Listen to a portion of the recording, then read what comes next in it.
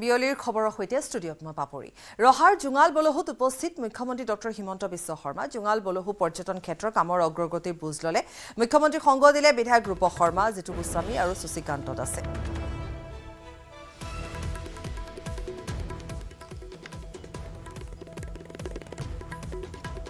ৰহাৰ জোঙাল বলহুত উপস্থিত হৈ মুখ্যমন্ত্ৰীগৰাকীয়ে কেইবাটাও ভাষ্য অৱশ্যে প্ৰদান কৰিছে। কেইবাটাও গুৰুত্বপূৰ্ণ দিশত তেওঁ ভাষ্য প্ৰদান কৰিছে। আৰু তেওঁক আমি কিছু ভিজুৱেলছ এই মুহূৰ্তত দেখুৱাইছোঁ। ৰহাৰ জোঙাল বলহুত উপস্থিত হয় মুখ্যমন্ত্ৰীগৰাকী। পৰ্যটন ক্ষেত্ৰৰ ক্ষেত্ৰৰ কামৰ অগ্ৰগতিৰ বুজ ল'লে তেওঁক সংগ দিছে মন্ত্ৰী পীযুষ হাজৰিকাই সংগ দিছে। ইফালে ৰূপ শৰ্মা আছিলে শশীকান্ত দাস আছে তেওঁৰ সৈতে। আমি ইতিমধ্যে কৈছোঁ যে তেওঁ কেইবাটাও গুৰুত্বপূৰ্ণ দিশত ভাষ্য দিছে। তাৰ ভিতৰত বিধানসভা নিৰ্বাচনলৈ এজনো নেতা নাথাকে কংগ্ৰেছত বুলি তেওঁ উল্লেখ কৰিছে। ৰহাৰ জোঙাল বলহুত এই মন্তব্য কৰিছে মুখ্যমন্ত্ৰীগৰাকীয়ে। কংগ্ৰেছৰ পৰা ডজনে ডজনে বিজেপিলৈ নেতা আহিল কিন্তু এই আলোচনা মিডিয়াত নহয় বিজেপিৰ পৰাও দুই এজন যাব পাৰে কংগ্ৰেছলৈ। সেইলৈ কিয় ইমান হুলস্থুল হৈছে বুলি মন্তব্য কৰে মুখ্যমন্ত্ৰীগৰাকীয়ে।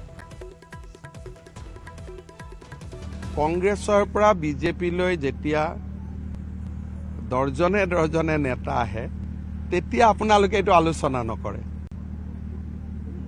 গতিকে আলোচনাটো সমান হ'ব লাগিব নে নাই? আজিতো কংগ্ৰেছ দলত এক প্ৰকাৰ কোনো মানুহেই নাছিলে চবেই বিজেপিত আহিছে। সেইটো আলোচনা হ'ব লাগিব। তাৰ মাজত বিজেপিৰো দুই এজন কংগ্ৰেছত যাব তাৰো আলোচনা হ'ব লাগিব। গতিকে অহা যোৱা ৰাজনীতিত চলি থাকে চলি থাকিব। কিন্তু এটা কথা ঠিক যে বিধানসভা ইলেকশ্যনৰ আগে আগে কংগ্ৰেছত কোনো নাথাকে চব বিজেপিতে আহিব।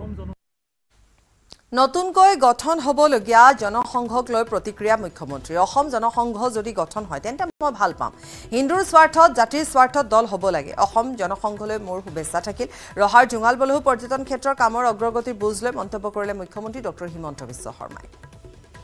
অসম জনসংঘ হ'ব পাৰে আমি শুভেচ্ছা জনাব লাগে। হিন্দুৰ স্বাৰ্থ সুৰক্ষিত কৰা যিমান ৰাজনৈতিক দল হয় তাক আমি আদৰণি জনাব লাগে। গতিকে অসম জনসংঘ যদি হয় মই শুভেচ্ছা জনাইছোঁ। কাৰণ যদি হিন্দুৰ স্বাৰ্থ অসমীয়া খিলঞ্জীয়া লোকৰ স্বাৰ্থ সুৰক্ষিত কৰিব পৰা যিমান ৰাজনৈতিক দল সংগঠন হয় সিমানেই জাতিটোৰ বাবে ভাল খবৰ। গতিকে তাক আমি আদৰণি জনাব লাগে। ভাৰত জিম্বাবৱেৰ টি টুৱেণ্টি শৃংখলাৰ আজি চতুৰ্থখন মেচ। ইতিমধ্যে দুই একৰ ব্যৱধানত ছিৰিজত অগ্ৰগতি লাভ কৰি আছে ভাৰতে। চতুৰ্থখন খেলৰ প্লেয়িং ইলেভেনত ৰিয়ান পৰাগে স্থান লাভ কৰাৰো পূৰ্ণ সম্ভাৱনা আছে। চাৰি বাজি ত্ৰিছ মিনিটত হাৰাৰে স্পৰ্টছ ক্লাব ষ্টেডিয়ামত অনুষ্ঠিত হ'ব। ভাৰত আৰু জিম্বাবৱেৰ মাজত চতুৰ্থখন টি টুৱেণ্টি মেচ। ইতিমধ্যে টছত জয়ী হৈ প্ৰথমে ফিল্ডিং কৰাৰ সিদ্ধান্ত লৈছে ভাৰতীয় অধিনায়ক শুভমান গিলে। ইয়াৰ পূৰ্বে তৃতীয়খন মেচত প্লেয়িং ইলেভেনৰ পৰা বাদ পৰিছিল ৰিয়ান পৰাগ। অৱশ্যে প্ৰথম আৰু দ্বিতীয়খন মেচ খেলিছিল যদিও অভিষেক ঘটোৱা মেচত মাত্ৰ দুই ৰান কৰিয়ে আউট হোৱা ৰিয়ানে দ্বিতীয়খন মেচত সুযোগ নাপালে বেটিঙৰ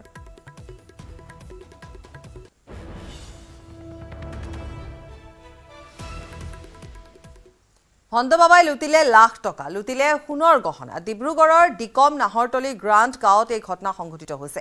প্ৰদীপ বাল্মীকি নামৰ এজনৰ ঘৰত লুটপাত দুই ভণ্ড বাবাই লুটিলে বাল্মীকিৰ পত্নীক পৰা টকা ল'লে। পত্নীক চলালে লুটপাত চিচিটিভিত বন্দী হৈছে ভণ্ড বাবাৰ সমগ্ৰ দৃশ্য। ডিকম আৰক্ষী চকীত এজাহাৰ দাখিল কৰিছে ভুক্তভোগী পৰিয়ালে। আৰু কেনেকৈ তেওঁ পৰিয়ালটোৰ পৰা কেনেধৰণে লুটপাত কৰি লৈ গৈছে সেই দৃশ্য আনকি চি চি কেমেৰাত আবদ্ধ হৈছে। যেতিয়া খুলি চাইছোঁ তো কাপোৰটোতো একোৱে নাই। মুঠিকেইটা আছিলে পাথৰৰ বাছ সেইখিনি। তাৰপিছত এজনী ৱাইফে আমাক খুলিলে লকাৰটো লকাৰটো চাইছোঁ তো একো কোনো একো এটাও বস্তুৱে নাই চব মই লগে লগে চালোঁ দাদাক ক'লোঁ ডাঙৰ দাদাক এনেকৈ তেনেকৈ হ'ল ঘটনা বাবাকেইটা আমাৰ লুটি ল'লে বোলে। কিমান টকা মূল্যৰ আছিলে আপোনাৰ? মোৰ তিনি লাখৰ ওপৰত আছিলে। কি কিনিছে? নেকলেছ আছিলে মানুহজনী নেকলেছ আছিলে আৰু মাংটিকা আমাৰ মাথাত পিন্ধে মাংটিকা আছিলে মোৰ এটা গলা এনেকুৱা চেইন আছিলে আৰু মানুহ মানুহজনী ইয়েৰিং আছিলে আৰু এটা নজ ৰিং আছিলে। মহানগৰীৰ সুন্দৰবন নগৰত হত্যাকাণ্ডৰ ঘটনা সংঘটিত হৈছে। ছৈয়দ আলী নামৰ এজন ব্যৱসায়িক হত্যা।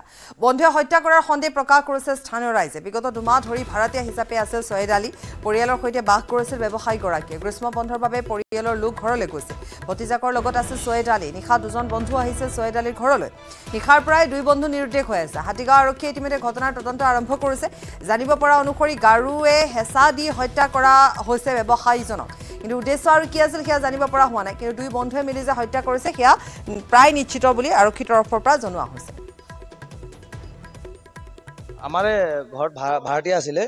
আমি ৰাতিপুৱা খবৰ পালোঁ যে এনেকৈ ৰুমত মৰি আছে। ল'ৰাটোৰ নাম ছায়াদ আলী। টাইলছৰ কাম কৰিছিলে। অঁ। লগত কোনোবা আছিলে মানে তাৰ লগত ভতিজা এটা আছিলে সৰু ল'ৰা। ষোল্ল বছৰমান বয়স হ'ব।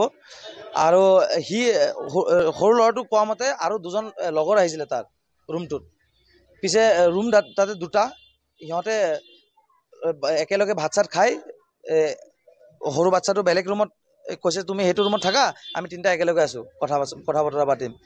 তে সেনেকৈ ধৰক এই মৰ্ণিং মৰ্ণিং ল'ৰাটো আকৌ উঠিছে সৰু ল'ৰাটো উঠি পেলাই যেতিয়া আপোনাৰ কাম কামত যাব মাতিবলৈ গৈছে। মাতিবলৈ যোৱাতে বোলে এনেকুৱা অৱস্থাত পাইছে। আৰু দুজন যে আছিলে সেই দুজন আগতে পলালে। সৰু ল'ৰাটোও দেখা নাই সিহঁতক। অ আমাৰ সাংবাদিক উৎপল হালৈ। মহানগৰ হাতীগাঁও থানাৰ অধীনত থকা লাচিতবৰ ফুকনৰ পথৰ সুন্দৰবন নগৰত আৰু সুন্দৰবন নগৰৰ গৃহ নম্বৰ চোৱাল্লিছতে হত্যাকাণ্ড সংঘটিত হৈছিলে। যাক হত্যা হৈছিলে তেওঁৰ নাম হৈছে সৈয়দ আলী ঘৰ হৈছে ধুবুৰীত। তেওঁৰ দুগৰাকীকৈ পত্নী আছিলে প্ৰথমা পত্নী ধুবুৰীত থাকে আনগৰাকী পত্নীৰ সৈতে তেওঁ ইয়াতে বাস কৰিছিলে। কিন্তু দিয়াৰ বাবে দ্বিতীয়গৰাকী পত্নীয়ে কি- তিনিদিন পূৰ্বে নিজৰ ছয়গাঁৱৰ বাসগৃহলৈকে গৈছিলে। এইখিনি মুহূৰ্তত উল্লেখ কৰিব বিচাৰিছে দুগৰাকীকৈ পত্নী আছিলে প্ৰথমগৰাকী পত্নী ধুবুৰীত থাকে আৰু দ্বিতীয়গৰাকী পত্নী ছয়গাঁৱত পৰা বিয়া কৰাইছিলে। তেওঁ এই এই স্থানতে এই ভাড়াঘৰটোতে একেলগে আছিলে। কিন্তু তিনিদিন পূৰ্বে যেতিয়া গৰম বন্ধ দিয়াৰ বাবে তেওঁ এই স্থানৰ পৰা গৈছিলে আৰু যোৱা নিশা তেওঁৰ যিটো বাসগৃহত আছিলে ছৈয়দা আলীয়ে ছৈয়দ আলী যিহেতু তেওঁৰো ঘৰ ধুবুৰীত তেওঁ নিশাৰ ভাগত দুজন সতীৰ্থ আহিছিলে বন্ধু অহা বুলি উল্লেখ কৰা হৈছে সেই দুগৰাকী বন্ধুৰ সৈতে হয়তো পাৰ্টি কৰিছিলে। পৰৱৰ্তী পৰ্যায়ত পাৰ্টিৰ পৰা হয়তো ঘটনা কাজিয়া বা মাৰপিটৰ নিচিনা ঘটনাৰ সূত্ৰপাত হোৱাৰ কথা উল্লেখ কৰা হৈছিলে। এই মুহূৰ্তত সতীৰ্থই পৰিৱেশ দেখুৱাইছে যে ইতিমধ্যে ধুবুৰীৰ পৰা তেখেতসকলৰ বাসগৃহৰ লোক আহিছে আৰু তেখেতসকলৰ মন্তব্য ল'বলৈ চেষ্টা কৰিম যিহেতু তেখেতসকলৰ পৰিয়ালৰ লোক আহি পাইছে। আৰু দাদা কি হৈছিলে গোটেই ঘটনাটো? আমি শুনা পাইছোঁ ফোন কৰিছিলে শুনা মতে মই আমি আহিছোঁ আৰু কি। তাৰপিছত বাকীটো এতিয়া এন্দাহে ক'ব পাৰিব ক'ত কি হৈছে ঘৰ মালিকে বাকীখিনি জানিব মানে। আছিলে আপোনাৰ? চায়দ আলি। সেইটো আগতে টাইছৰ কাম কৰিছিলে টাইছৰ ঠিকাদাৰ আছিলে। সেনেকৈ কাম কৰি আছিলে গুৱাহাটীৰ আগৰ পৰাই মানে টাইছৰে কাম কৰি আছে। বাকীখিনি ইমান নাজানো। কৰিছে আপোনালোকে? সন্দেহ শুনা মতে এন্দে মানে যে আছিলে আৰু যে তিনিজন আছিলে এই তিনিজনৰ কিবা কাম আছে। ষড়যন্ত্ৰ কৰিছে মাৰা আৰু। বাকীটো আৰু মানুহ নাই। যে তিনিজন আছিলে বন্ধু সেই তিনিজনে মাৰিছে মোৰ সন্দেহ তোমাৰ এটাই অনুৰোধ এন্দক মানে ধৰিব লাগে কেনেকৈ মাৰিলে ক'ত কি কৰিব লাগে। এইটো মোৰ অনুৰোধ। মাৰিছে কিবা গম পাইছে নেকি? নাই আমি ডিটেইলছ একো গম পোৱা নাই। পুলিচ আহিছে পুলিচ দেখা পাই আমি গম পালোঁ যে তাৰ ভাড়াতে এটাক মানে মাৰি থৈ গৈছে। এতিয়া কোনে মাৰিলে সেইটো তদন্ত ওলাব আমি গম নাপাওঁ। মালিকৰ নাম গম পায় নেকি? অঁ ঘৰ মালিকৰ নাম। ঘৰ মালিকৰ নাম ৰহিছ উদ্দিন। কেতিয়াৰ পৰা ভাড়া দিয়া হিচাপে আছিলে লোকজন গম পায় নেকি সেইটোও মই গম নাপাওঁ। আৰু ৰহিছুদ্দিনৰ ঘৰত আমি পোৱা তথ্যমতে প্ৰায় ছমাহ পূৰ্বৰে পৰা এই বাসগৃহত আছিলে আৰু এই মুহূৰ্তত উল্লেখ কৰিব পাৰিম যে দুয়োগৰাকী পত্নীয়ে কিন্তু এই বাসগৃহলৈকে আহিছিলে। সেয়াও এটা বিশ্বস্ত তথ্য আমাৰ ওচৰত আছে।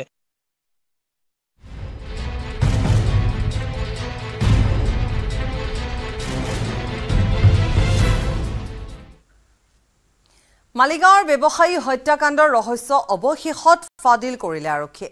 ৰাজা দেৱৰয় নামৰ লোকজনে পৰিয়ালৰ আন সদস্যৰে মিলি হত্যা কৰিছিল ৰঘুবেন্দ্ৰ গুপ্তাক। মালিগাঁৱৰ কামাখ্যা ৰেল ষ্টেচনৰ সমীপতে থকা এটা ভাড়াঘৰত বাস কৰিছিল ৰাজা দেৱৰয় আৰু তেওঁৰ পত্নী ভগ্নী মাতৃ আৰু পত্নীয়ে। এইটো ভাড়াঘৰতে মাতি আনি হত্যা কৰা হৈছিলে ৰঘুবেন্দ্ৰক। আৰক্ষীৰ জেৰাত ইতিমধ্যে হত্যাকাণ্ডৰ কথা স্বীকাৰ কৰিছে পৰিয়ালটোৱে। আটাইকেইজন সদস্যই লগ লাগি হত্যা কৰিছিল ৰঘুবেন্দ্ৰক। আটাইকেইজনকে থানাত জেৰা চলাই থকা হৈছে। আৰু ইয়াৰে ৰাজা দেৱৰয় পত্নী আৰু ভগ্নীক আছুতীয়াকৈ লৈ যোৱা হৈছে। জালুকবাৰী থানাৰ পৰা উলিয়াই নি আছুতীয়া স্থানত সোধা পোছা কৰি থকা হৈছে। উল্লেখযোগ্য যে ৰাজা দেৱৰয় ভাড়াঘৰৰ সমীপতে থকা এগৰাকী মুখবধিৰ যুৱতীকো আৰক্ষীয়ে আনকি সোধা পোছা চলাই আছে। চি চি টিভি ভিজুৱেলছো ইতিমধ্যে লাভ কৰা হৈছে। গতিকে আটাইখিনি পৰিকল্পিতভাৱে এই হত্যাকাণ্ডটো যে সংঘটিত কৰা হৈছিলে সেয়া ইতিমধ্যে আৰক্ষী নিশ্চিত হৈছে।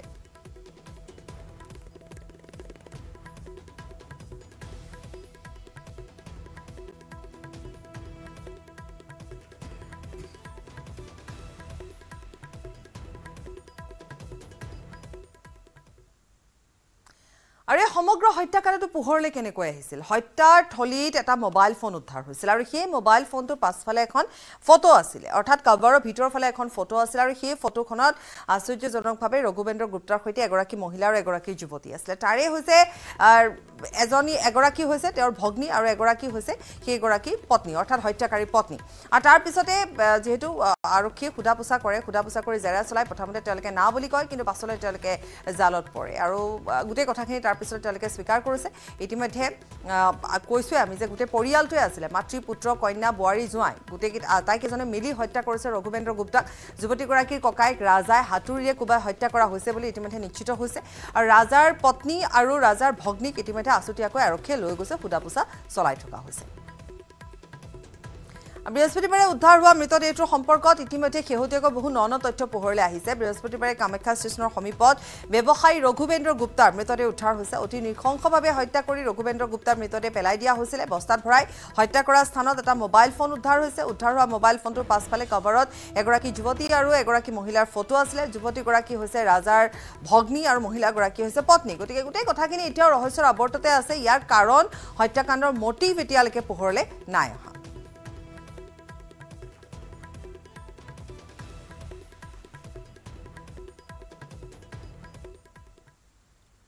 আৰু ইফালে দক্ষিণ কামৰূপৰ সোণতলিতো এটা হত্যাকাণ্ডৰ ঘটনা সংঘটিত হৈছে। হাত ভৰি বন্ধা অৱস্থাত কিশোৰৰ মৃতদেহ উদ্ধাৰ হৈছে। মৃত কিশোৰজন হৈছে ষোল্ল বছৰীয়া উহা বালি কিশোৰজনৰ শৰীৰৰ কেইবাটাও স্থানত আঘাতৰ চিন স্পষ্ট। দুৰ্বৃত্তই হানি খুচি হত্যা কৰা সন্দেহ প্ৰকাশ কৰা হৈছে কিন্তু কাৰণ এতিয়ালৈকে জানিব পৰা হোৱা নাই বা আৰক্ষীয়ে এই ক্ষেত্ৰত তদন্ত আৰম্ভ কৰিছে যদিও কোনো দুৰ্বৃত্ত আৰক্ষীৰ জালত এতিয়ালৈকে নাই পৰা। হাত ভৰিবলৈ বান্ধা আছিল। দড়ি এডালো তাৰমানে ইয়াত আছে। আমি তাৰমানে দড়ি এডাল তাৰমানে ইয়াত প্ৰত্যক্ষভাৱে ই কৰিলোঁ দেখিলোঁ। তো যিটো স্পৰ্ট আছে আমি স্পৰ্ট হিচাপে আমি তাৰমানে গম পালোঁ যে এইটো আচলতে আত্মহত্যা নহয়। এইটো তাৰমানে ডাইৰেক্ট কোনোবা দুষ্ট চক্ৰই তাৰমানে এইটো মানে কিবা কাম সংগঠিত কৰিছে। গতিকে এই ক্ষেত্ৰত আমি ৰাজ্যৰ তৰফৰ পৰা হয় তাৰমানে এইটো এটা মানে অনুমান কৰিব পাৰি। এইটো আমাৰ ঘৰতে তাত আমাৰ চোতালত তাৰমানে পৰি আছিল ইয়াতে তাৰমানে ই আছিল পৰি আছিল। তো সেই হিচাপে আহ, তাৰমানে হাত ভৰি তাৰমানে বান্ধা বুলি আঘাত তাৰমানে আমি যিটো তাৰমানে আহি কিনে চালোঁ যে তাৰমানে গলৰ তাৰমানে তলৰ ফালে এটা তাৰমানে আঘাত তাৰমানে দেখিবলৈ পোৱা গৈছে। পুনৰ পুৰণি শৰাইঘাট দলঙত ফাট। দলংখনৰ কেইবাটাও স্থানত ফাট মেলাৰ বাবে যাতায়াত বন্ধ কৰি দিয়া হৈছে। দুদিনৰ বাবে শৰাইঘাট দলং বন্ধ কৰি দি মেৰামতি আৰম্ভ কৰিছে ৰেল বিভাগে। পুৰণি শৰাইঘাট দলং সাময়িকভাৱে বন্ধ কৰি দিয়াৰ ফলত জালুকবাৰীৰ পৰা আমিনগাঁৱলৈকে তীব্ৰ যান জঁটৰ সৃষ্টি হৈছে। আৰু পুনৰ ফাট মেলিছে শৰাইঘাট দলং বন্ধ কৰি দিয়াৰ ফলত এতিয়া তীব্ৰ যান জঁটৰ সৃষ্টি হৈছে। জালুকবাৰীৰ পৰা আমিনগাঁৱলৈ তীব্ৰ যান জঁটৰ সৃষ্টি হৈছে। এয়া এইটো ফাট মেলিছে যাৰ ফলত বন্ধ কৰি দিয়া হৈছে। আৰু ইয়াৰ পৰিণামস্বৰূপে বন্ধ কৰি দিয়াৰ ফলত তীব্ৰ যান জঁটৰ সৃষ্টি হৈছে।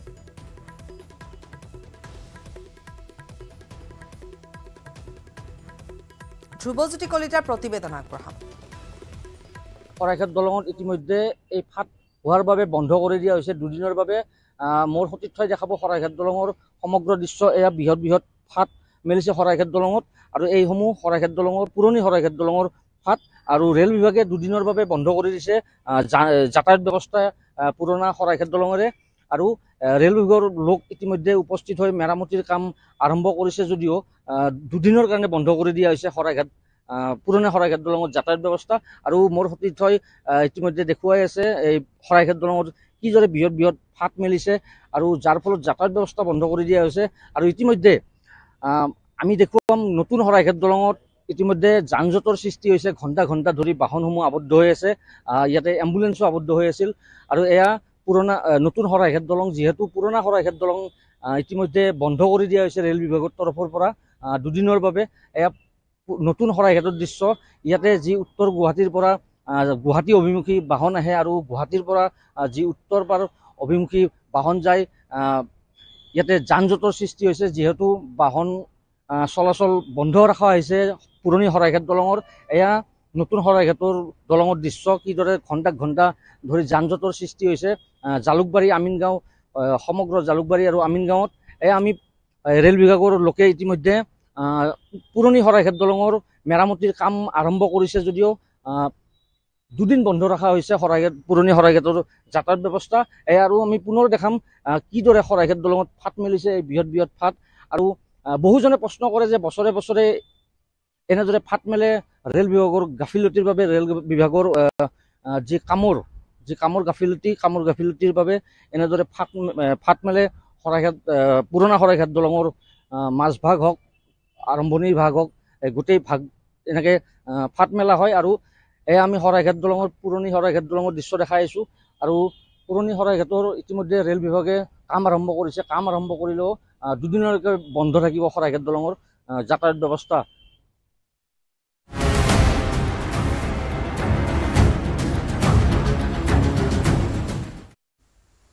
দীপৰ বিলৰ পানী অস্বাভাৱিকভাৱে বৃদ্ধি পোৱাত মহানগৰীৰ বাবে এতিয়া ভাবুকি নামি আহিছে।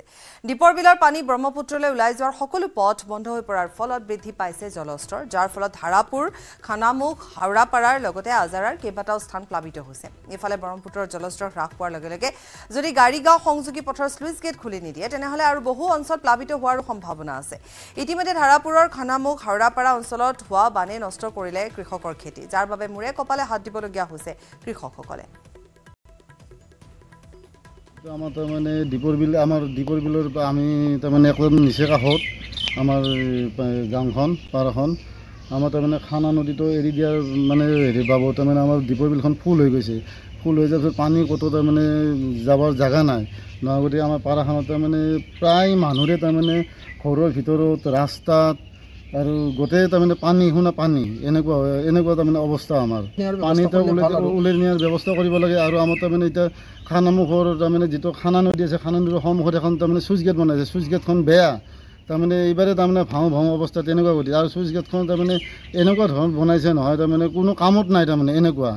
গতিকে চৰকাৰৰ তাৰমানে আমি এটাই অনুৰোধ কৰিছোঁ আমাৰ মুখ্যমন্ত্ৰী ডাঙৰীয়া যাতে মানে যিখিনি বস্তুখিনি কামখিনি কৰে চুইচ গেটৰ কামখিনি যাতে ভাল হয় তেতিয়া আমি চুইচ গেটৰ কামখিনি হোৱাৰ গতিকে ভাল হোৱাৰ কাৰণে তাৰমানে আমাৰ সেই হ'ল। চুইচ গেটটো বেয়া হোৱাৰ কাৰণে আমাৰ এনেকুৱা এনেকুৱা অৱস্থা হৈছে। কলিয়াবৰৰ হাতীমূৰা ভগ্ন মথাউৰি সন্মুখৰ কফৰ ডেম মেৰামতিৰ কাম অব্যাহত জলসম্পদ বিভাগৰ দ্বাৰা। বিগত দুই জুলাইত ব্ৰহ্মপুত্ৰৰ বাঢ়নী পানীয়ে ভাঙি নিছিল হাতীমূৰা মথাউৰি। ফলত কলঙলৈ বৈ যোৱা বাঢ়নী পানীয়ে জলপ্ৰলয় সৃষ্টি কৰে কলিয়াবৰৰ কলংপৰীয়া অঞ্চলত। হাতীমূৰা শ্লুইচ গেট নিৰ্মাণৰ সময়ত সন্মুখত নিৰ্মাণ কৰা কফৰ ডেমটো কাটি দিয়াৰ পিছতে বিগত একৈছ জুনৰ পৰা শ্লুইচ গেটেৰে বৈছিল ব্ৰহ্মপুত্ৰৰ পানী। ক্ৰমান্বয়ে ব্ৰহ্মপুত্ৰৰ জলস্তৰ বৃদ্ধি হ'ল। তাৰ পিছতে শ্লুইচ গেট নিৰ্মাণৰ বিসংগতিৰ বাবে শ্লুইচ গেটৰ ওপৰেৰে হুৰা হুৰে বৈছিল ব্ৰহ্মপুত্ৰৰ বাঢ়নী পানী। অৱশেষত বিগত দুই জুলাইত বাঢ়নী পানীয়ে ভাঙি নিছিল হাতীমূৰা মথাউৰি। ব্ৰহ্মপুত্ৰৰ জলস্তৰ ক্ৰমান্বয়ে হ্ৰাস পোৱাৰ পিছতে হাতীমূৰা ভগ্ন মথাউৰি সন্মুখৰ কফাৰ ডেম মেৰামতি কাম আৰম্ভ কৰে জলসম্পদ বিভাগটোৱে। জিঅ' বেগ পাৰ্কোপাইন পেলাই প্ৰায় বাৰটা দিন উকলি যোৱাৰ পিছতো কফাৰ ডেমৰ মুখ বন্ধ কৰিবলৈ সক্ষম হোৱা নাই জলসম্পদ বিভাগ। উল্লেখযোগ্য যে দুহেজাৰ সোতৰ চনতো ভাঙিছিল হাতীমূৰা মথাউৰি। দুহেজাৰ ওঠৰ চনত মথাউৰি ভঙা অংশ পুনৰ মেৰামতি কৰাৰ লগতে পূৰ্বতকৈ দুগুণ বহল। আৰু উচ্চতাৰে নিৰ্মাণ কৰা হৈছিল হাতীমূৰা মথাউৰি। পৰৱৰ্তী সময়ত তিনিটা বাৰিষা কালত ব্ৰহ্মপুত্ৰক ভেটা দি আছিল হাতীমূৰা মথাউৰি। দিবাকৰ দাসৰ প্ৰতিবেদন আগবঢ়াম। হাতীমূৰাৰ মথাউৰি ভঙা আজি বাৰটা দিন হ'ল আৰু দেখা গৈছে এতিয়াও হাতীমূৰাৰ সন্মুখৰ যি কফাৰ ডেম আছিলে সেই কফাৰ ডেম নিৰ্মাণ কাৰ্য চলি আছে। আমাৰ পোনে পোনে সেই দৃশ্য দেখুৱাম। এয়া হৈছে হাতীমূৰা যি চুইচ গেট হাতীমূৰা মথাউৰি সংলগ্ন চুইচ গেটৰ সন্মুখৰ যি কফাৰ ডেম। সেই কফাৰ ডেম এইদৰে পাৰ্কোপাইন আৰু লগতে এয়া জিঅ' বেগ পাৰি এই অংশটো বন্ধ কৰাৰ চেষ্টা চলাইছে। কিন্তু এয়া আধা কাম হৈছে যদিও এতিয়াও মূল অংশ বন্ধ কৰিবলৈ বাকী আছে। কিয়নো পানীৰ সোঁত এতিয়াও আছে। ব্ৰহ্মপুত্ৰৰ পানী এই ভঙা অংশৰে বৈ আছে এতিয়াও কলঙলৈ ইয়াত কাৰ্যবাহী যিগৰাকী অভিযন্তা আছে অভিযন্তাগৰাকী ইয়াত আছে আমি তেওঁলোকৰ মতামত ল'বলৈ চেষ্টা কৰিম। দেখা গৈছে এই মুহূৰ্তত আপোনালোকে এই কাম কৰি আছে এইটো বন্ধ কৰা হৈছে কেনেকুৱা ধৰণৰ কি পৰ্যায় আগবাঢ়িছে? আমি এতিয়া জিঅ' বেগ আৰু মানে পাৰ্কোপাইন লাঞ্চিং কৰি আছোঁ মুখখন বন্ধ কৰিবৰ কাৰণে। এইটো এটা মানে চেলেঞ্জিং জব হৈছে কিয়? মানে এখন আমি বোৱতী নদী ব্ৰহ্মপুত্ৰৰ বোৱতী নদীক মাজ বাৰিষা বন্ধ কৰিব লগা অৱস্থা আহি পৰিছে। এইটো আমি যিমান পাৰোঁ দিনে ৰাতিয়ে টুৱেণ্টি ফ'ৰ বাই ছেভেন কাম চলি আছোঁ জিঅ' বেগ মাৰি আছোঁ দু ছাইডৰ পৰা আৰু পাৰ্কোপাইনৰ ছাপৰ্ট লৈ আছোঁ। এইটো বন্ধ কৰিবই লাগিব নহ'লেতো আৰু মানে এইটো ডুবি যাব। পিছততো আৰু সেইটো যিটো ছিঙিছে সেইটোতো পিছত এদিন কৰিবই লাগিব কাৰণ সেইটো ৰোড কাম এম্বেকমেণ্ট সেইটোৰ মথাউৰি হৈ থকা নাই এতিয়া ৰাস্তা হৈ গৈছে। এইটো এটা চেলেঞ্জিং জব কাৰণ বেলেগ মথাউৰি যেনেকৈ ছিঙে সেইটোতকৈ অলপ ডিফাৰেণ্ট এইটো। এইটো ওলোটা মানে এনেই জেনেৰেলি কি হয় আমাৰ মথাউৰি আৰু নদীবিলাক পেৰেলেল যায়। মানে সমানে সমানে যায়। মথাউৰি নদী যেনেকৈ যায় পাৰে পাৰে সমানে সমানে যাই থাকে। তেতিয়া মথাউৰি এটা ছিঙিলে নদীৰ ফোৰ্চটো তাত খুন্দা নামাৰে। মথাউৰিটোত খুন্দা নামাৰে চিধাকৈ গৈ থাকে। এতিয়া কি হৈছে আমাৰ এটা মানে ডাইৰেক্ট কাৰেণ্ট পাৰ্পেণ্ডিকুলাৰ দিল। মানে লম্বভাৱে আহি আমাক এক খুন্দা মাৰি আছে। তাৰ এগেইনষ্টত কাম কৰিব লগা হৈছে। সম্পূৰ্ণ উল্টা বেলেগ মথাউৰি ছিঙাৰ নিচিনা।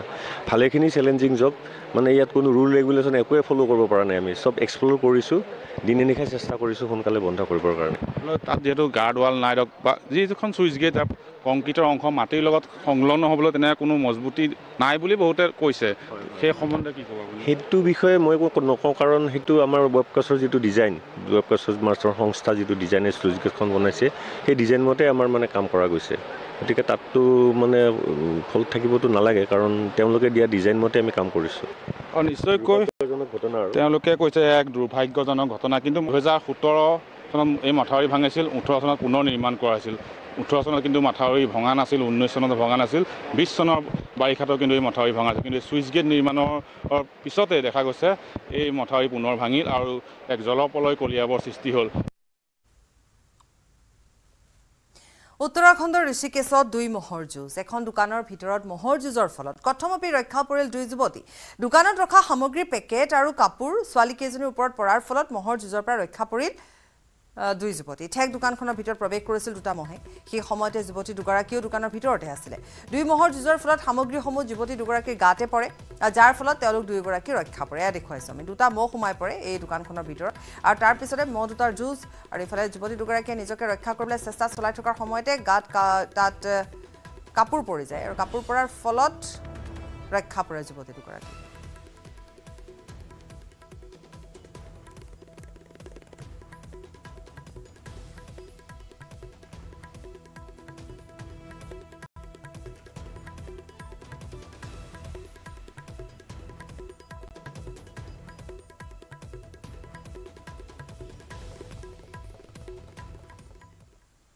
চৰম নিৰাপত্তাহীন হৈ পৰিছে মহানগৰী। মহিলা যুৱতীৰ ডিঙিৰ পৰা ইটোৰ পিছত সিটোকৈ সিডালকৈ চেইন চুৰিৰ ঘটনা সংঘটিত হৈছে। মহানগৰীৰ প্ৰগতি পথত পুনৰ চেইন চুৰিৰ ঘটনা সংঘটিত হৈছে। এগৰাকী মহিলাৰ ডিঙিৰ পৰা চেইন কাঢ়িলে দুৰ্বৃত্তই চি চি কেমেৰাত আবদ্ধ দৃশ্য এয়া চাওক। মহিলাগৰাকীয়ে দুৰ্বৃত্তই যি বাইকত অহা দুৰ্বৃত্তক খেদি গৈছে। চি চি টিভিত বন্দী হৈছে সমগ্ৰ দৃশ্য।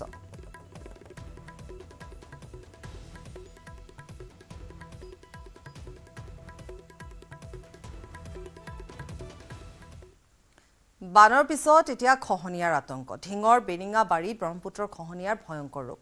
নদীৰ বুকুত বিলীন হ'ল এটা মছজিদ। গৃহহীন বহুকেইটা দৰিদ্ৰ কৃষক পৰিয়াল। গাঁওবাসীয়ে ঘৰ দুৱাৰ ভাঙি ঘৰৰ সা সামগ্ৰী লৈ নিৰাপদ স্থানলৈ যাত্ৰা কৰে। নগাঁও জলসম্পদ বিভাগৰ এছৰ বিৰুদ্ধে ভুক্তভোগী ৰাইজৰ বিস্ফোৰক অভিযোগ। ৰাইজৰ অভিযোগ জলসম্পদ বিভাগৰ এজন বিষয়া সুৰজ শইকীয়াই কাম নকৰি বিক্ৰী কৰিছিল চাৰি হাজাৰ জিঅ' বেগ বান খহনীয়াত সৰ্বশ্ৰান্ত ৰাইজে মুখ্যমন্ত্ৰী ডক্টৰ হিমন্ত বিশ্ব শৰ্মাক তদন্তৰ ব্যৱস্থা কৰিবলৈ অনুৰোধ জনাইছে। যেতিয়াই কাম কৰিব লাগিছিল জানুৱাৰী ফেব্ৰুৱাৰী মাহত কাম কৰিব লাগিছিল তেতিয়া তেওঁলোকে নকৰাই।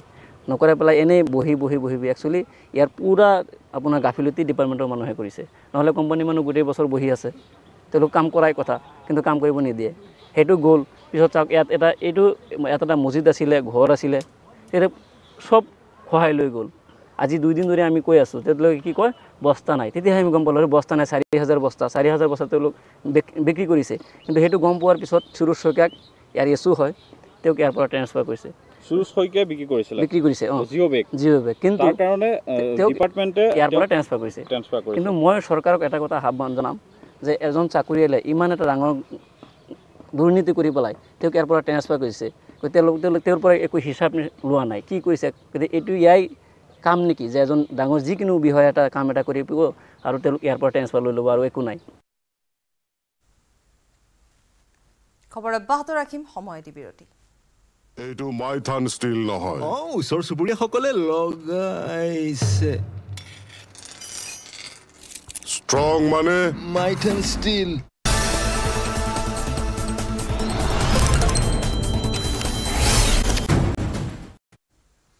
গহপুৰৰ পশ্চিম কথাই চুকত পথৰ বিধ্বস্ত ৰূপ। ব্ৰহ্মাজান নদীৰ বানে বিধ্বস্ত কৰিলে পথটো।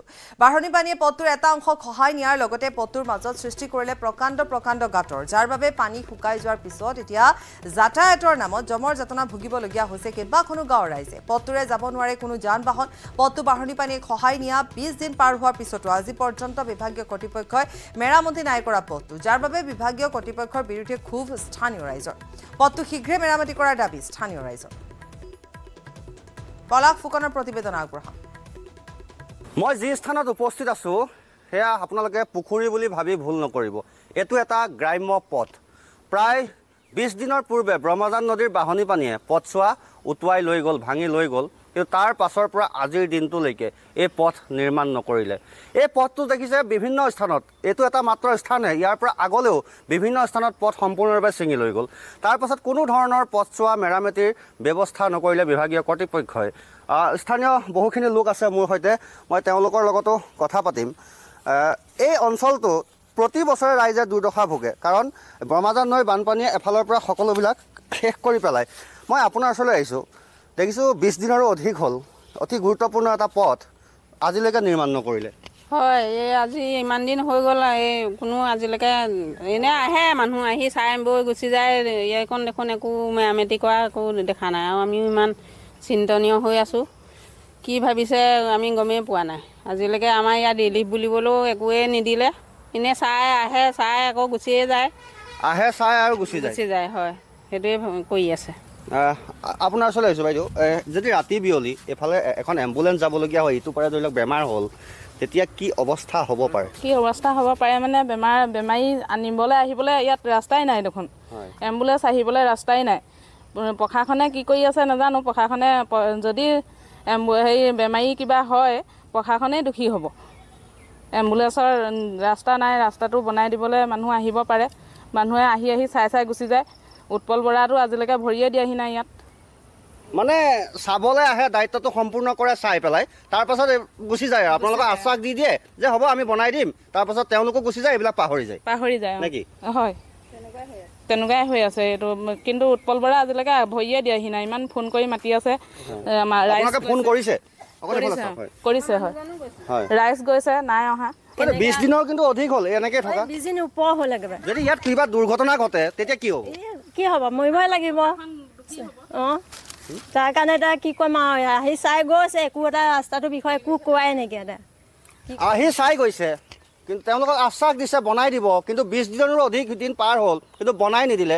বিশেষকৈ ৰাতি বিয়লি যদি ইয়াত দুৰ্ঘটনা হয় কোনো লোক যদি আঘাতপ্ৰাপ্ত হয় তেতিয়াহ'লে গাঁওবাসীয়ে জনাইছে যে বিভাগীয় কৰ্তৃপক্ষ ইয়াৰ বাবে দায়ী হ'ব কিয়নো তেওঁলোকৰ দায়িত্ব যে এই পথটো নিৰ্মাণ কৰি দিয়াৰ। কিন্তু কোনো ধৰণৰ তেওঁলোকে নিৰ্মাণৰ ব্যৱস্থা আজি কপতি নকৰিলে তেওঁলোকে কেৱল চাবলৈ আহি তাতেই দায়িত্ব সামৰা যেন অনুভৱ হৈছে গাঁওবাসীয়ে এয়া মন্তব্য প্ৰকাশ কৰিছে।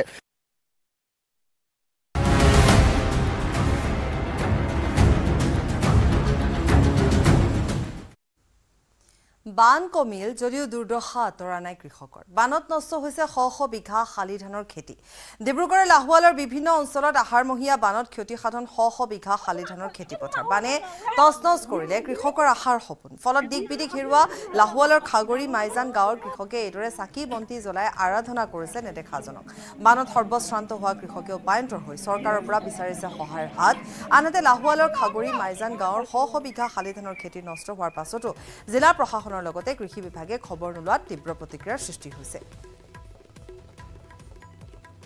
আমাৰ জেঠমৰীয়াৰ পৰা যিটো খেতি আৰম্ভ হয় আমাৰ এখন মাইজান পথাৰ। প্ৰায় আমাৰ ইয়াত ছয় সাতশ ঘৰ মানুহ আছে। ছয় সাতশ ঘৰ মানুহৰ প্ৰায় দুশ বিঘা মাটি। আজি পোন্ধৰ বিছ দিন নেৰানেপেৰা বৰষুণৰ ফলত বানপানীয়ে আমাক খেতি বিধ্বস্ত কৰি পেলাইছে। ইয়াত এডালো কঠীয়াও নাই কাৰো ঘৰত এডালো ধানো নাই পথাৰত। আমি চৰকাৰক আমাৰ আপোনালোকৰ তৰফৰ পৰা আমি বিধায়ক মহোদয়ৰ আৰম্ভ কৰি আমি মুখ্যমন্ত্ৰীলৈকে এইটোকে জনাব বিচাৰিছোঁ আহ্বান জনাইছোঁ যে তেখেতসকলে আহি আমাক এবাৰ বুজ লওক। আমি জলদেৱতাকো আমি আৰাধনা জনাইছোঁ। আজি পানী যেন শেষ হৈ যায় পানী শুকুৱাই আমাৰ দুখীয়া পৰিয়ালবিলাকৰ ওপৰত সুপ্ৰসন্ন হৈ আমাক খেতি দি কৰিবৰ কাৰণে আমাক অকণমান সুবিধা কৰি দিয়ে বুলি আমি আপোনালোকৰ তৰফৰ পৰা চৰকাৰলৈ অনুৰোধ জনাইছোঁ। আজিও জলমগ্ন হৈ আছে বান বিধ্বস্ত বৰচলাৰ বচা শিমলু অঞ্চলৰ এখন প্ৰাথমিক স্বাস্থ্য কেন্দ্ৰ। বিগত দহ দিনে প্ৰাথমিক স্বাস্থ্য কেন্দ্ৰটো জলমগ্ন হৈ থকাত বন্ধ হৈ আছে স্বাস্থ্য সেৱা। বানৰ পিছতে বিভিন্ন ৰোগৰ প্ৰাদুৰ্ভাৱ হোৱাৰ সময়তে বন্ধ হৈ আছে স্বাস্থ্য কেন্দ্ৰটো। বান পৰিস্থিতি কিছু উন্নত হৈছে যদিও স্বাস্থ্য কেন্দ্ৰটো জলমগ্ন হৈ থকাত অঞ্চলটোৰ ৰাইজে সমস্যাৰ সন্মুখীন হ'বলগীয়া হৈছে। হৰেণ ভূমিজৰ প্ৰতিবেদন আগবঢ়াম বৰচলাৰ এক নং বচা শিমলুৰ নিয়ামত চুবুৰী যি প্ৰাথমিক স্বাস্থ্য কেন্দ্ৰ আছে এই প্ৰাথমিক স্বাস্থ্য কেন্দ্ৰৰ এয়া দৃশ্য মই দেখুৱাইছোঁ। এনেধৰণে বিগত কেইবাদিন ধৰি এনেধৰণে জলমগ্ন হৈ আছে। বৰচলাৰ নিয়ামত চুবুৰী যি বচা শিমলু প্ৰাথমিক স্বাস্থ্য কেন্দ্ৰ এই প্ৰাথমিক স্বাস্থ্য কেন্দ্ৰ এনেধৰণে জলমগ্ন হৈ থকাত ইয়াত যি চিকিৎসা সেৱা এই চিকিৎসা সেৱা আচলতে ব্যাহত হ'ব লগা হৈছে। স্থানীয় লোকসকল আছে আমি তেওঁলোকৰ সৈতে কিছু কথা পাতিম। দাদা কি ক'ব? কেইদিন ধৰি এনেধৰণে জলমগ্ন হৈ আছে? আজি এসপ্তাহ হৈ গ'ল জলমগ্ন হৈ আছে। এসপ্তাহ এসপ্তাহ। চিকিৎসা সেৱা কেনেধৰণে চলিছে? চিকিৎসাটো নায়েই এতিয়া। নাহে নেকি? নাহে। বানপানীৰ কাৰণে এদিন আহিছিল বানপানীৰ কাৰণে ডক্তৰ সোমাবই পৰা নাই। ৰাস্তাৰ পৰাই গুচি গ'ল। কেনেকৈ সোমাব? ৰাস্তাতো পানী। সেইকাৰণে ডক্তৰ কেইটা আহি গুচি গ'ল। এতিয়া বন্ধ বৰ্তমান। আপোনালোকৰ অসুবিধা হৈছে যথেষ্ট? যথেষ্ট অসুবিধা হৈছে আমি কিবা বেমাৰত ভুগি আছোঁ। জ্বৰ হৈ আছে ডায়েৰিয়া হৈ আছে। এই অঞ্চলটো এতিয়া তলা লগা লগোৱা আছে। হয় এইটো হস্পিটেল আপোনালোকে দেখিছে। দমকলটো ইতিমধ্যে ডুবি গৈছে আৰু পানী যথেষ্ট উন্নত হৈছে পানী কমিছে। যেতিয়া পানী আছিল তেতিয়া ইয়াত প্ৰায় খাতৰৰ নিচিনাই আছিল। এতিয়া পানী যদিও কমিছে এতিয়াও ইয়াৰ যিটো দমকল আছে এতিয়াও পানীৰ তলত ডুবি আছে। কেইবাদিন হ'ল আজি? ইয়াতো পোন্ধৰ দিনৰ বেছি হৈছে। এনেধৰণে জলমগ্ন। এনেদৰে জনমগ্ন হৈ আছে। নিশ্চয়কৈ এনেধৰণে আচলতে এই যি স্বাস্থ্যকেন্দ্ৰ এই স্বাস্থ্যকেন্দ্ৰ এনেধৰণে এতিয়া জলমগ্ন হৈ থকাত এই অঞ্চলটোৰ লোকসকলে ব্যাপক অসুবিধাৰ সন্মুখীন হ'ব লগা হৈছে। বিগত এসপ্তাহ দহ দিন ধৰি এনেধৰণে এই স্বাস্থ্যকেন্দ্ৰটোত তলা ওলমিছে। এক নং বচা শিমলু নিয়ামত চুবুৰী যি প্ৰাথমিক স্বাস্থ্যকেন্দ্ৰ আছে এই প্ৰাথমিক স্বাস্থ্যকেন্দ্ৰটো এনেধৰণে ব্ৰহ্মপুত্ৰৰ যি বাঢ়নি পানীত আজিও জলমগ্ন হৈ থকা দুৰ্ভোগ ভুগিব লগা হৈছে এই অঞ্চলটোৰ ৰাইজে। বান শিবিৰত ভিন্ন ৰোগৰ প্ৰাদুৰ্ভাৱ জটিল সমস্যাৰ সন্মুখীন বানাক্ৰান্ত দিচাঙৰ বানৰ কবলত শিৱসাগৰৰ কেইবাটাও অঞ্চল। বান কমিছে যদিও এতিয়াও পানীৰ তলত বহু বন্যাত্মৰ ঘৰ। ৰাজমাইলৰ ঘাইপথৰ দাঁতি তিৰপাল আৰি দিন কটাইছে এতিয়া বহু বন্যাত্মই জুপুৰী সদৃশ অস্থায়ী শিবিৰত ভিন্ন সমস্যাৰে জৰ্জৰিত বানাক্ৰান্তসকল। দেখা দিছে বিশুদ্ধ খোৱাপানীৰ অভাৱেও জ্বৰ বমি ডায়েৰিয়া আদি ৰোগত আক্ৰান্ত হৈছে বহু পৰিয়াল।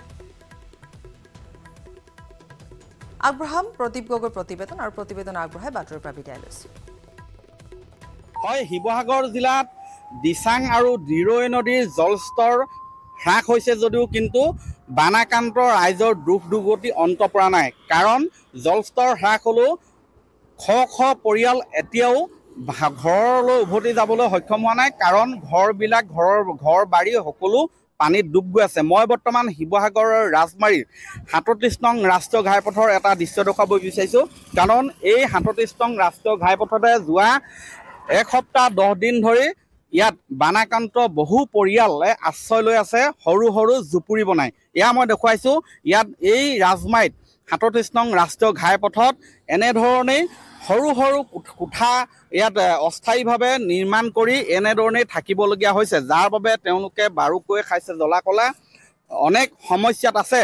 শ শ পৰিয়াল সাতত্ৰিছ নং ৰাষ্ট্ৰীয় ঘাইপথত ইয়াত কেমেৰা ঢুকি পোৱালৈকে ইয়াত আম- দৃশ্য দেখুৱাইছোঁ যে শ শ পৰিয়াল এই ধৰণে বসবাস কৰিবলগীয়া হৈছে। এটোপা বিশুদ্ধ খোৱাপানীৰ অভাৱ। ইয়াৰ উপৰিও থকা মেলা বহুখিনি অভ- অভাৱ। মই সেই ভিতৰৰ দৃশ্য দেখুৱাব বিচাৰিছোঁ। ভিতৰত এয়া দেখুৱাইছোঁ যে শিৱসাগৰ ৰাজমাৰীত দৃশ্য সাতত্ৰিছ নং ৰাষ্ট্ৰীয় ঘাইপথত এনেধৰণেই বৰ্তমান আশ্ৰয় শিবিৰত দিন পাৰ কৰিছে এইসকল পৰিয়ালে। যিসকলে দহ দিন হৈ গ'ল তেওঁলোকে নিজৰ ঘৰখনলৈ যাবলৈ এতিয়াও সক্ষম হোৱা নাই। কাৰণ পানী এখন বিচনা মাত্ৰ তাতে পৰিয়ালটো থাকিবলগীয়া হয়। এনেকৈ ধৰণে আছে শ শ পৰিয়াল। কি কি সমস্যাৰ সন্মুখীন হৈছে সেই বিষয়ে মই পোনে পোনে জানিবলৈ চেষ্টা কৰিম। কি কি সমস্যাত কি কি পৰিছে? সমস্যা বহু আছে ছাৰ। আমাৰ সমস্যা খৰিৰ সমস্যা হৈছে। তাৰপৰা আমাৰ পানীৰ সমস্যা হৈছে আকৌ খোৱা বোৱা সমস্যা। আমি তিনি টাইম বনাবও নোৱাৰোঁ খৰি নাই। তাৰপৰা এবেলাহে বনাই খাইছোঁ আৰু যেনে তেনে। এনেকুৱা সমস্যা। লঘোণে আছে। এতিয়া আমি লঘোণতে আছো এতিয়া আৰু বৰ্তমান বনাইছে আপোনালোকে দেখিছে। এতিয়া বনাব এতিয়া খালে আৰু ৰাতি তেনেকুৱাই থাকিব লাগিব। বেমাৰ আজাৰ হৈছে লেতেৰা পানী মানুহ কিছুমান খাইছে তেনেকুৱা বেমাৰ হৈছে। এনেকুৱা খোৱা পানীৰ অভাৱত লেতেৰা পানী খাবলগীয়া হৈছে। লেতেৰা পানী খাবলগীয়া হৈছে পানী কেনে অভাৱ হৈছে এবেলা পানী হৈছে? নিছে? জ্বৰ কাহ পায়খানা বমি এনেকুৱা হৈছে হয় আচলতে কৰুণ দৃশ্য কৰুণ দৃশ্য। মই জানিব বিচাৰিম পুনৰ ইয়াত থকা মেলাটো কেনেকে কৰিছে? নিশা থকা মেলা বহুত অসুবিধা। বহুত অসুবিধা থকা মেলা। আমি তেতিয়া মাইকী মতা চবে মানে আমি পাঁচটা পৰিয়াল আছো। তো দুটা মতা মানুহ আছে আৰু আমি তিন চাৰিটা। তাৰপৰা দুইটা বাহিৰত হৈ আমি চাৰিটা ভিতৰত যেনে তেনে আৰু এটা বিচনাতে থাকো। অঁ মতা মানুহকেইটা বাহিৰতে হৈ পাঠি পেলাই দিয়ে তাতে এনেকুৱা হৈ থাকে। হয় ইয়াত চিকিৎসা একাংশ আশা কৰ্মী আছে বাইদেউসকলে শুশ্ৰূষা কৰি আছে এইকেইদিন। কি কি সমস্যাৰ সন্মুখীন হৈছে? ইয়াত বিশেষকৈ পানীৰ পৰা কিছুমান সমস্যা হৈছে মানে ইয়াত থকাবিলাকৰ। আৰু খোৱা বোৱাৰ সমস্যা হৈছে খোৱাৰ কাৰণে ৰোগে মানে জ্বৰ হৈছে কাহ হৈছে এই পায়খানা হৈছে মানুহৰ ডায়েৰিয়া নিচিনা বমি কৰিছে সৰু ল'ৰা ছোৱালীও জ্বৰ হৈছে।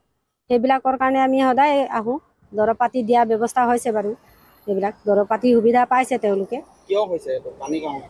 কাৰণে হৈছে বিশেষকৈ পানীৰ কাৰণেই হৈছে বুলি ক'ব পাৰি আৰু।